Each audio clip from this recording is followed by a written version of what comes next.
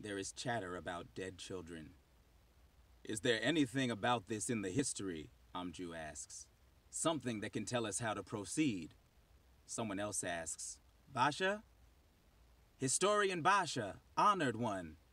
We hear them call us, our name ringing out through the water, but we are too entranced in a remembering to respond.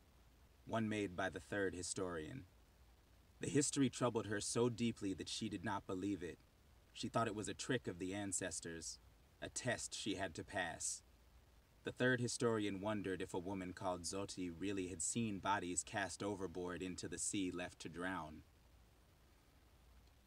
When she went upward to see if it was true, she was snagged by a hook and lifted onto a boat deck. She tried to heave in oxygen through her mouth and nose, but she didn't know how. Suffocating, she half passed out.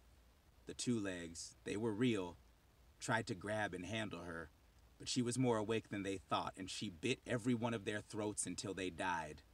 She flopped and crawled to the boat edge, using her front fins to pull herself forward. With one powerful but painful thwack of her tail fin, she was back in the sea, having cleared the short wall.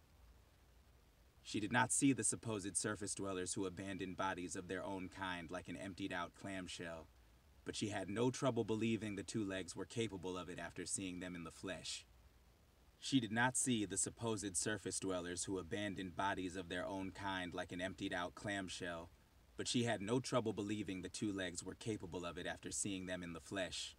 This truth, that two legs were cruel and unusual, was the most important lesson of the history, and the third historian vowed to protect her people from them.